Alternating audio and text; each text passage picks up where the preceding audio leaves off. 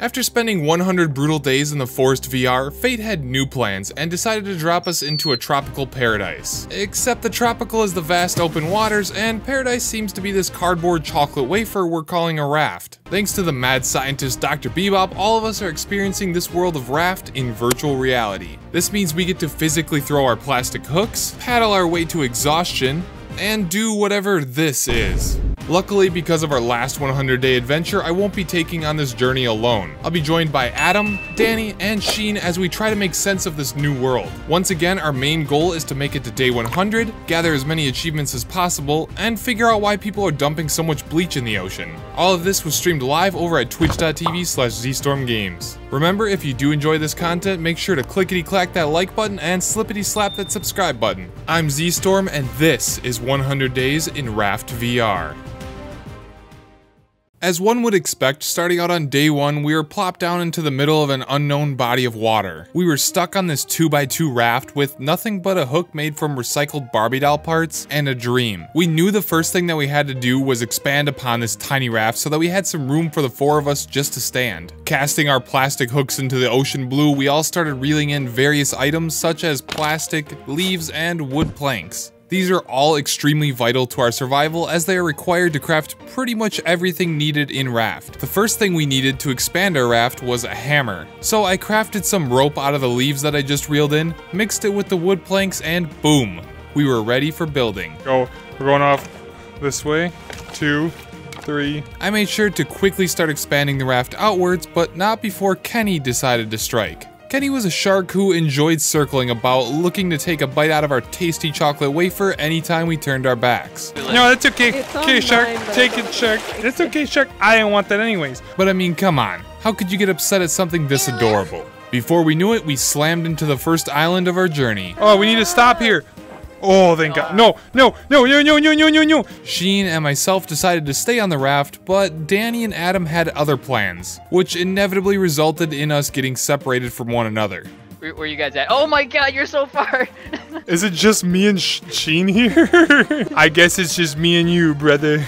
But as you all know, we're Ohana, and Ohana means family, and family means nobody gets left behind or forgotten. Sheen and I built some paddles quickly and got the raft zooming back towards our friends. We're coming. We're coming. Where's Danny? Danny, come here. Come on. Come on, hop up, Yeah, you Danny. guys were actually really going fast. We got them back onto the raft and everyone was finally safe. Now we could get back to focusing on the task at hand, surviving.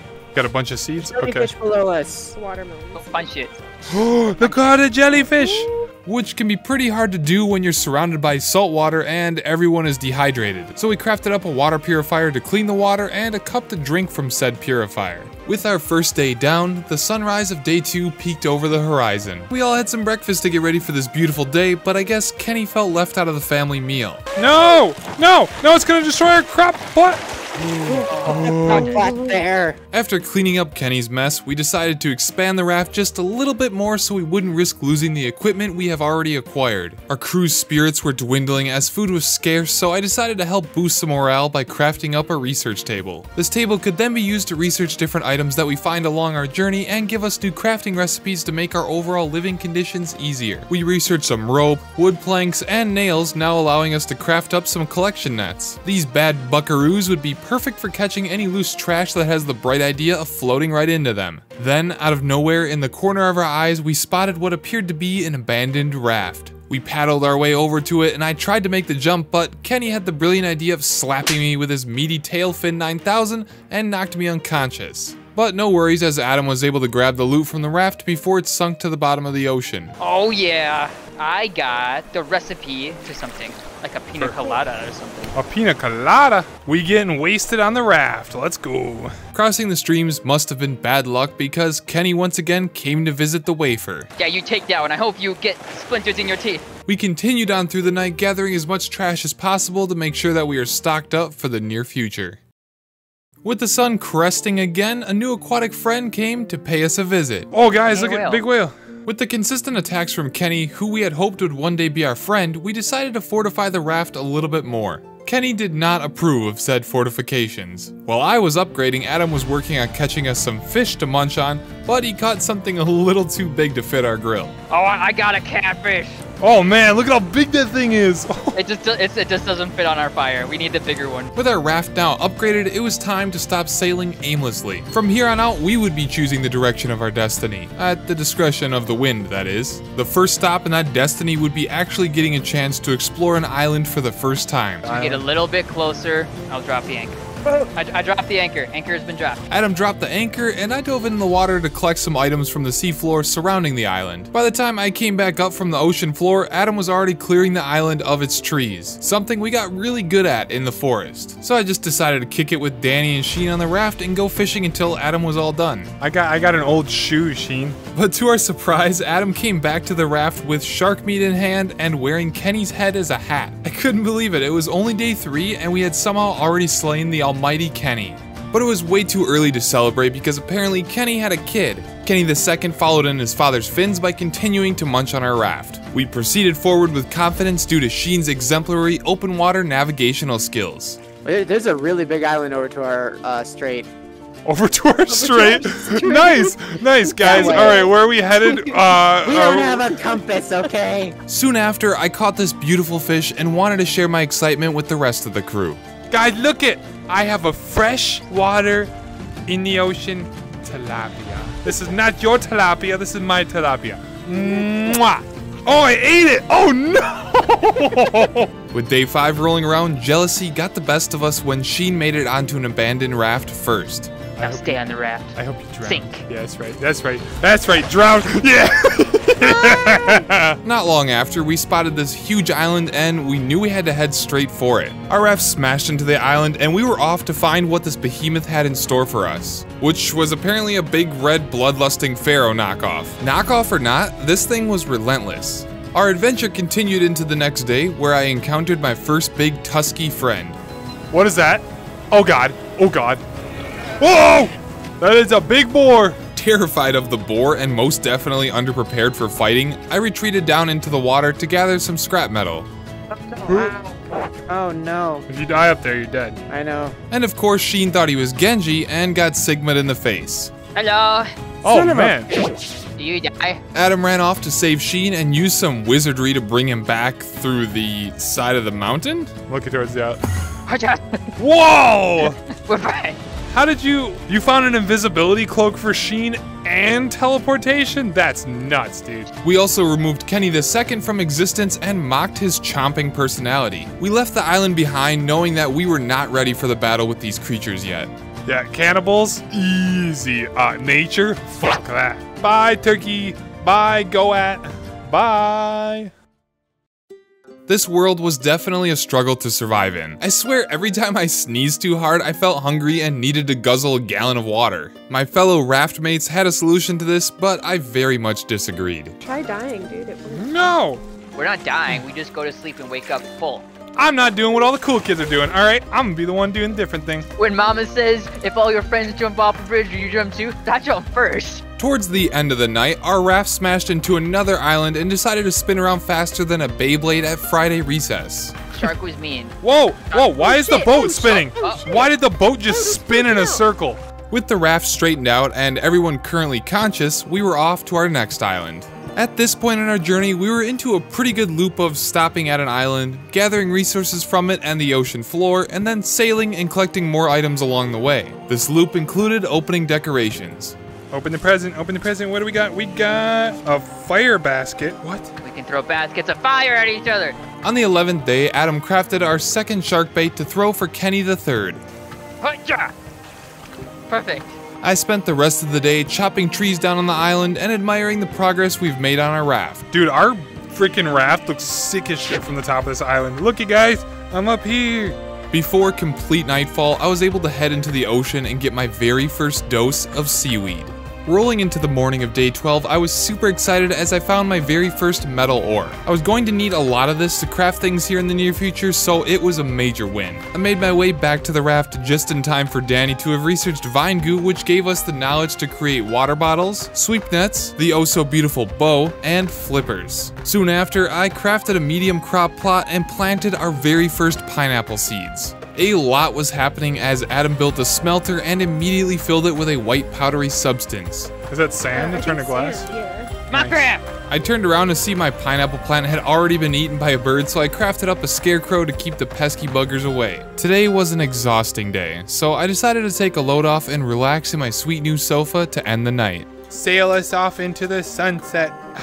The 13th day of sunlight was upon us. I took my first metal ore and placed it down into the smelter to make a metal ingot. Then I got to work on my house, which seems a little weird. I'm not quite sure why we all didn't just collectively build one big house, or just work on expanding our resource gathering, but we'll figure that out on like day 60 or something. No, instead of working together on furthering our livelihood, we have arguments about hooking items. I'm just better at hooking. Yeah, that's it. You're a better hooker than me. Hooker. I mean, I just have a better hooker. You have a better hooker, yeah. Yeah, my hooker is a professional. My hooker has way more experience than your hooker. No, not me, not me. No, the Make it sound weird. It's just my hooker, hooker. that I'm using as a tool. By day 14, ADHD had taken over full bore and I had no clue what sort of mess of a house I was making. Then we love tapped into an island which didn't make matters any better. Guys, guys, there's a big thing up there. Last time we went to an island this size, it didn't bode well for us. We were no more prepared this time than we were previously. Except this time we grouped up together as one unstoppable unit, and the first victim on our path of destruction was this big meaty boar. Let's mess this thing up. Give me Come that on. pygmy. Oh, oh. Alright, I'm gonna come into. Oh, Oh my God. rock on him. come here, nerd. Mm. Here. Oh, I'm gonna die. I'm gonna die. Oh, I just I, died. I don't know if we can kill this. The boar did manage to knock me on my booty cheeks, but the rest of the fam was still stabbing fearlessly. And it wasn't long after that our first boar was finally defeated. Oh, wait, the pig's dead. dead. The pig's dead. With the beast finally wiped out, we could venture deeper into this beautiful island, parkouring through caves and trekking up the rocky terrain until we came across something sparkly. A satellite dish. What's up here? This was our very first encounter with the trading outpost. This here would be what we traded trash cubes into to get special bait that we would in turn catch all sorts of colorful sea critters. But with all of us being monkey brained, we had no clue what trash cubes were or where to get them. Not letting go of the monkey brain trend, I found some goats and decided to try and shank the rare variation of the goat until my spear broke. I spent a Ah, really long time trying to kill the goat last time. I never did it. Clueless as to the multiple rarities passed up, we headed back to the raft yet again to set sail. My humble abode was still in need of dire attention, so I decided to throw a door on it and some walls to box everything in, as well as finally move my crop plot and scarecrow. I dropped a second crop plot to help get some things moving along for food. Later in the night, we got presented with some beautiful dolphins and talk about our knowledge on Kenny III. There's a shark somewhere. I heard it. It went gar. With day 20 slapping us in the face, we reflected together as a family. It is officially day 20. Day 20. Woo, woo, woo. Let's Ooh, go. we haven't done any of the storyline. Yeah, we, we haven't done a damn thing in the storyline. Yeah. But all that is fine because who needs to progress in the story when you got a big old grill for grilling? Let me put that big fishy on the grill. yeah. Day 21 was filled with haters. Island ahoy. I am an island boy. Oh shit. and evil seagulls. Move, seagull. Get, shoot. Get out of here. Damn, Kenny. oh my god! Get out of here! These upcoming days were about to get exciting. Today, I finally crafted the bow. Though I didn't fully know how to use it and I somehow had the skill to shoot it one-handed, I knew this bow was destined for me. Adam, look at this. Adam, does this hurt you? When I move my head, it's in my eye. as well as destined for shredding Kenny the Third into little shark giblets. I finally found a nice place to start putting my larger chests and crafted a smelter to put inside my corner of the raft. I think the first thing I was super excited about on our journey was something that most wouldn't be, the crafting of my first water bottle. This now meant I could drink three whole cups of fresh water before I needed to refill the bottle. For sure, this would be my saving grace. Unfortunately, the same could not be said about our dear pal Adam. What happened? Sean, where are we? I don't know. Where are you guys? Far away. Sean, are you with me? You're in the water? Bad things happen. I don't even see the raft anymore. Oh, no. How did you do that? What happened? I just, I, I picked up Sean and I teleported. Adam and Sheen managed to pull off some Gryffindor level magic again and appeared back onto the raft. With their return, we did encounter another large island, though much didn't happen here other than me crafting a metal axe and Sheen getting pelted with a boulder. Not long after, we did finally gather the resources to craft an advanced purifier. This would allow us to clean up to 5 cups of water at a time without the need of planks for fuel, as opposed to our old purifier which only cleaned 1 cup of water at a time and required lots of wood. On the path of building things to make our lives easier, Danny also built a large crop plot for growing trees, something we would also neglect until day 60. The morning of day 28 started out a little bit violent as I finally taught that seagull a lesson about touching things that don't belong to you. Later that day, things got a little less violent as we finally researched a circuit board giving us access to multiple new things such as antennas, the receiver, a sprinkler, and a juicer. Compounded on top of that, we also researched a water bottle. This would allow us to craft an oxygen bottle to be able to stay underwater for longer. Overall, this was a great day even with Adam's statement for the upcoming large island. I'm gonna deforest this entire island. Kenny IV decided today was the day he was going to try and take revenge for the Kiblets incident, but got himself arrowed in the face instead. While feeling some remorse for the way things went with Kenny, my mood was brightened up by my new little friends. Whoa, the school of fish! Holy crap! Whoa! This looks what's up, fishy? This looks so cool in VR. Hi, fishies! Oh my god, I'm gonna draw drown because it's so cool. With my mindset finally in the right place, I destroyed the livelihood of Kenny V. There we go. Yeah, yeah. Making my way back to the raft, I suddenly remembered that I could craft an oxygen bottle. So I taped up the bottle, strapped it to my face, and set back off into the ocean to collect some more loot. This time, finding something new. Oh, there's a crate down here. There's a supply crate under the water. Oh, there are scrap and metal ingots in the supply crate. With resources in hand and my energy running low, I headed back to the raft to get a good night's rest. Another milestone in our journey has arrived now that we hit day 30. We celebrated a little bit by building a cooking pot to brew up some delicious concoctions. Within this time span, Adam had built a beautiful little cabin made on his corner of the raft, Danny was still planning some things out aesthetically, and she nailed his minimalistic aesthetics. And of course, I still have an extreme case of ADHD. Oh, remember how I said before that I could shoot my bow with one hand? Well, I finally learned how to shoot it with two hands. There have been stories told of cruel evils lurking deep within the waters that are far worse than Kenny. And today was the day I finally encountered one of those evils. Huh? Oh! Don't attack me. Where'd you go? Did I kill you? I did.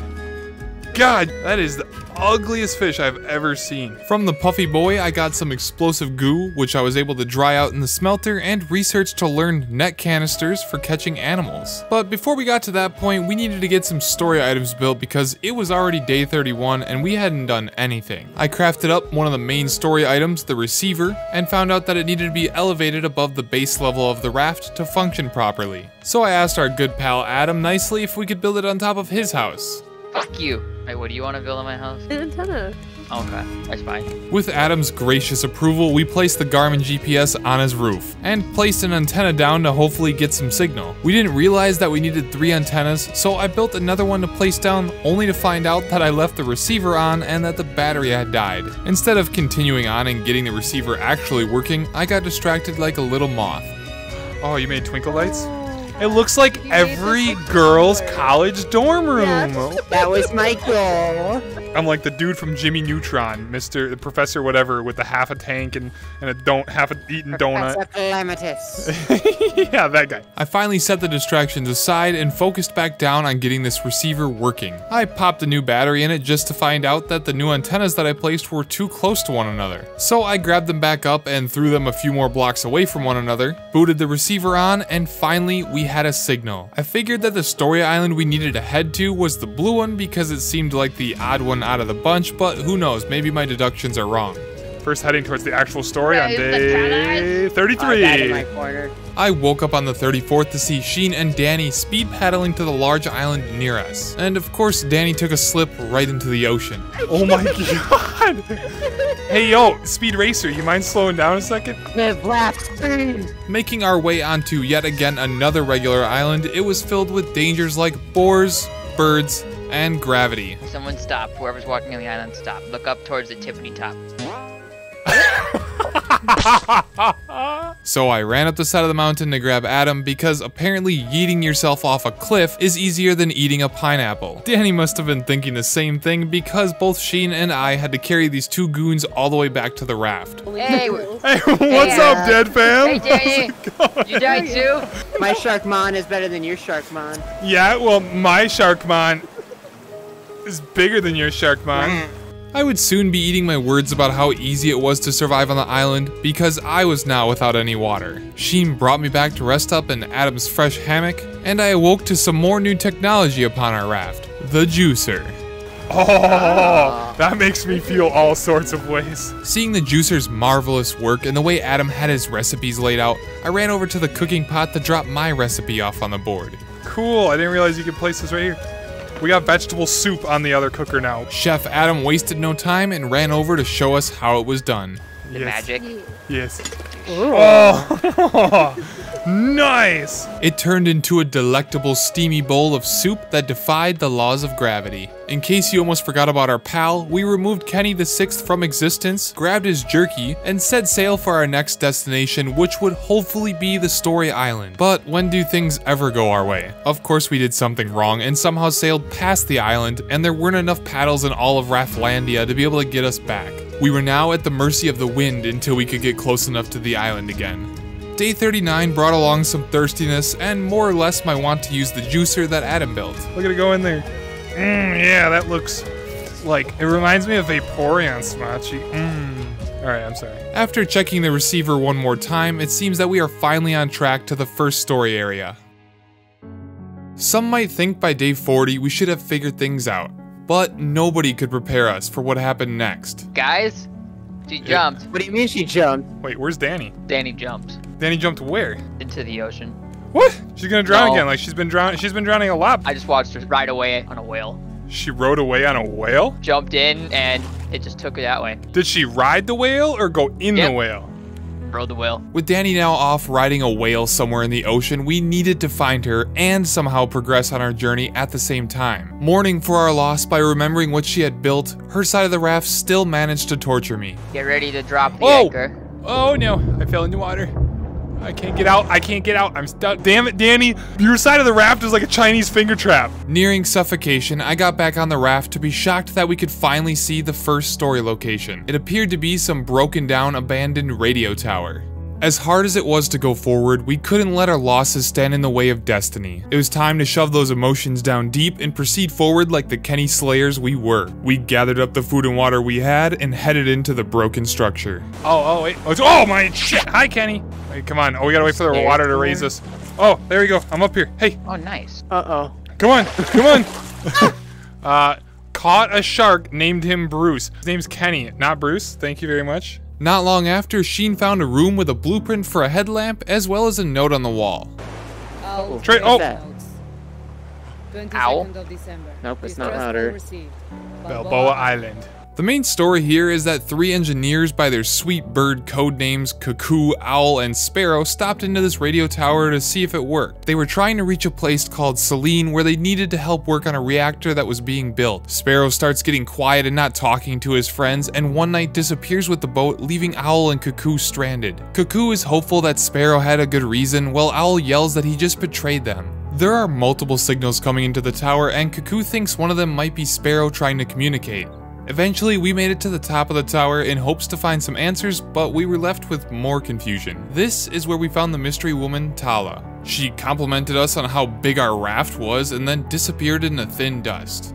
It was definitely a strange encounter since nothing that we found ever mentioned anyone named Tala. We got a recycler blueprint from here which Adam picked up as well as a picture of some place called Pop Tropica or something. Playing in VR must have immersed us too much because instead of picking up the note like a normal person, we just tried to look at what the number said and then jumped off the tower. Yeah, I guess our smooth brains thought that 1234 was an acceptable coordinate number. Getting back onto the raft, nighttime was approaching so I crafted some torches for the front of my house and joined Adam on his back deck.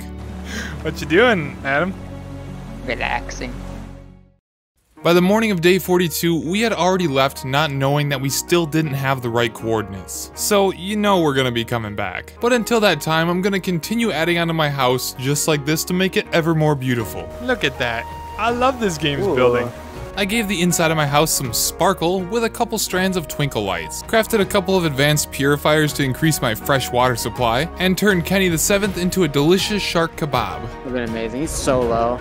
Wow, there you go. Yeah. Dad, let's go. Things were really starting to look good by the 44th. I had tons of storage going on in my house, multiple smelters, and a little beet farm, which some people take offense to apparently. I hope you burn your beets. Don't you dare. I hope they taste like charcoal. You're Wow. Yeah, Just, just wow. yeah. Put that back. The only thing I'm busy fucking here is Kenny. Adam began work on revamping the center of our raft so that we could raise the sail and move the receiver off of his house. This would also leave us more room underneath for the anchor and to build community items around it. Adam's building skills were at peak operational level and the center was all cleaned up and rebuilt by the next morning. This looks really good, Adam. I like does this. look really nice. Sheen decided to tack on a recycler so that we could finally start crushing up garbage and turning it into trash cubes to give to traders. Boom. Look at it. Oh.